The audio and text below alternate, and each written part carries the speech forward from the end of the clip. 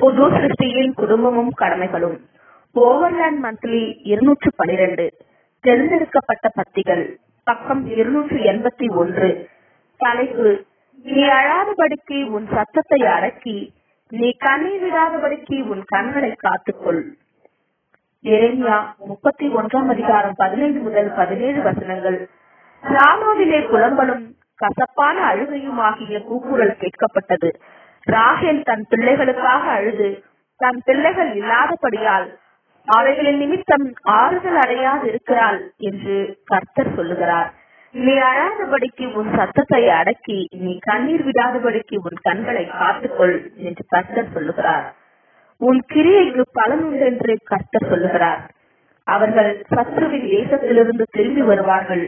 உன் முடிவை பற்றி உனக்கு நம்பிக்கை உண்டு. உன் பிள்ளைகள் தங்கள் தேசத்துக்கு திரும்பி வருவார்கள் என்று கர்த்தர் சொல்லுகிறார்.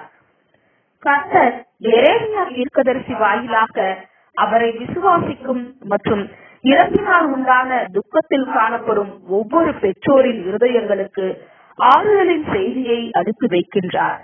ராமாவிலே புலம்பலும் கசப்பான அழுகையுமாகிய கூப்புரல் கேட்கப்பட்டது. ராகேல் தன் பிள்ளைகளுக்காக அழுது தன் பிள்ளைகள் இல்லாதபடியால் அவைகளின் நிமித்தம் ஆறுதல் அடையாதிருக்கிறாள் என்று கர்த்தர் சொல்லுகிறார். நீ அழாதபடுக்கி உன் சத்தத்தை அடக்கி நீ கண்ணீர் விடாதபடுக்கி உன் கண்களை காத்துக்கொள் என்று கர்த்தர் சொல்லுகிறார். உன் கிரியைக்கு பலன் உண்டென்று கர்த்தர் சொல்லுகிறார். அவர்கள் சத்ருவின் தேசத்திலிருந்து திரும்பி வருவார்கள். உன் முடிவை பற்றி உனக்கு நம்பிக்கை உண்டு. உன் பிள்ளைகள் தங்கள் தேசத்துக்கு திரும்பி வருவார்கள் என்று கர்த்தர் சொல்லுகிறார். எரேமியா முப்பத்தி ஒன்றாம் அதிகாரம் பதினைந்து முதல் பதினேழு வசனங்கள் என்று நாம் வாசிக்கின்றோம். இவ்வசனத்தின் மூலம் ஐந்து காரியங்கள் நம் கவனத்திற்கு வருகின்றன. முதலாவது உலகம் முழுவதும் மரணத்தின் நிமித்தமாக துக்கம் காணப்படுகின்றது. அப்போஸ்தலன் கூறுவது போன்று ஆகையால் நமக்கு தெரிந்திருக்கிறபடி இதுவரைக்கும் சர்வ சிருஷ்டியும் ஏகமாய் தவித்து பிரசவ வேதனைப்படுகிறது. ரோமர் எட்டாம் அதிகாரம் இருபத்தி இரண்டாம் வசனம். இரண்டாவது ஆறுகளின் விதமானது விவரிக்கப்பட்டுள்ளது. அது உயிர்த்தெழுதலின் நம்பிக்கையாகும். மறித்தவர்கள் உயிரடைவதன் நம்பிக்கையாகும். மறித்தவர்கள் மீண்டும் வருவார்கள். அவர்கள் மீண்டும் ஜீவனுக்குள் வருவார்கள். மூன்றாவது மரணத்தில் நம் அன்புக்குரியவர்கள் சத்துருக்களின் தேசத்தில் காணப்படுகின்றனர். அதாவது பரிகரிக்கப்படும் கடைசி சத்துரு மரணம். ஒன்று குழந்தையர் பதினைந்தாம் அதிகாரம் இருபத்தி ஆறாம் வசனம் என்று அப்போ சிலர் கூறியுள்ளது போன்றதாகும்.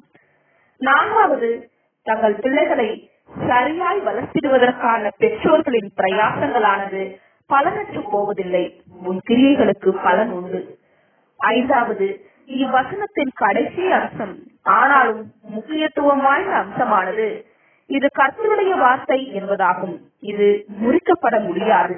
இவ்வார்த்தைகளானது இவ்விஷயம் தொடர்பான மனுஷருடைய வார்த்தைகளில் நின்று எவ்வளவுதான் வித்தியாசமாக இருப்பினும் இது நிச்சயமாய் நிறைவே தீரும்.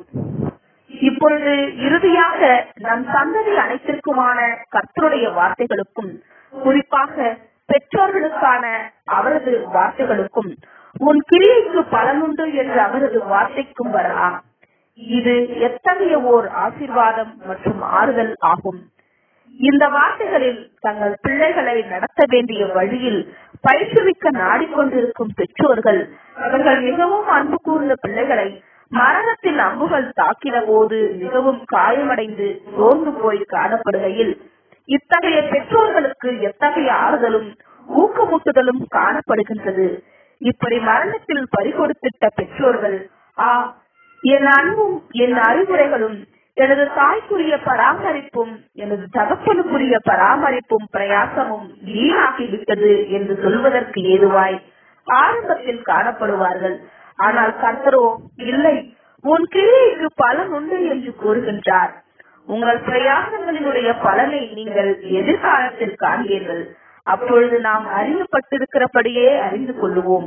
நமது அன்புக்குரியவர்கள் நம்மோடு கூட காணப்படுவார்கள். மேலும் இக்காலத்தில் பிள்ளைகளை நீதியின் சத்தியத்தின் நேர்மையின் பயபக்தியின் அடிப்படையில் வழிந்திடுவதற்கு செலவிடப்படும் நேரமும் எடுக்கப்படும் பிரயாசமும் நிச்சயமாய் வீணாகாது. இந்த பிரயாசங்களுக்கு ஏற்ப பிள்ளைகள் உயிர்த்தெழுந்து வருகையில் மனம் மற்றும் ஒழுக்கத்தின் வளர்ச்சியில் மிகவும் மேம்பட்டு உயிர்த்தெழுந்து வருவார்கள். மேலும் இதற்கேற்ப அக்காலத்தில் கர்த்தர் பிள்ளைக்கு முன்பாக வைத்திடும் பிரம்மாண்டமான உயர்ந்த கொள்கைகளை மிக எளிமையாக அடைந்து விடுவார்கள். எப்படி பயனளிக்கப்படும் எனும் தலைப்பின் கீழ் காணலாம். இன்னொரு பக்கத்தில் தன் பிள்ளைகளை குறித்து அக்கறையற்றவர்களாகவும் பெற்றோரின தன் சாக்கியங்கள் மற்றும் கடமைகளை புறக்கணித்தவர்களாகவும் காணப்பட்ட பெற்றோர் தன் பிள்ளைக்கு தன்னால் எவைகளையெல்லாம் செய்திருக்க முடியும் ஆனால் தான் செய்யாமல் போயுள்ளதை குறித்து எதிர்காலத்தில் பார்க்கையில் தன் அசத்தைக்கான பலனை சந்தேகத்திற்கிடமின்றி அடைவான். மேலும் திவ்ய பிரமாணத்தின்படி பெற்றோரென தன் கடமையினை உண்மையாய் நிறைவேற்றியுள்ள ஒவ்வொரு பெற்றோரும் தன் கிரியைக்கான பலனை தன்னிலே அடைவான் என்றும் தனக்குரிய இந்த கடமையினை அசட்டை பண்ணியுள்ளதான ஒவ்வொரு பெற்றோரும் தன் கிரியைக்கான பலனை தானில் அடைவான் என்றும் உள்ளது. பிள்ளையை நடத்த வேண்டிய வழியிலே பயிற்றுவிப்பதற்கும் கர்த்தருக்கான பக்தியிலும் கர்த்தருக்கேற்ற போதனையிலும் வளர்ப்பதற்கும் வேண்டி பிரயாசம் எடுப்பதன் வாயிலாக தன்னைத்தான் வளர்த்துக் கொள்வதற்காக பெற்றோருக்கு வரும் வாய்ப்பினை போன்று வேறு மகா சாக்கியமோ அல்லது வாய்ப்போ இல்லை என்று யார்தான் உணராமல் இருந்திருப்பார்கள். குணலட்சணத்தின் வளர்ச்சியும் இடம்பெறுகிறது. மற்றவர்களுக்கு நன்மை செய்வதற்கான ஒவ்வொரு பிரயாசத்திற்கும் அதிலும் விசேஷமாக உங்கள் சொந்த பிள்ளைகளுக்காக எடுக்கப்படும் ஒவ்வொரு பிரயாசத்திற்கும் ஈடாக ஆசீர்வாதங்கள் உங்கள் சொந்த இருதயங்களில் உண்டாகும் என்பது சந்தேகத்திற்கு இடமின்றி உண்மையே. வருஷங்கள் கடந்து செல்ல செல்ல இந்த ஆசீர்வாதம் ஆழமாகுவதாக. ஆமேன்.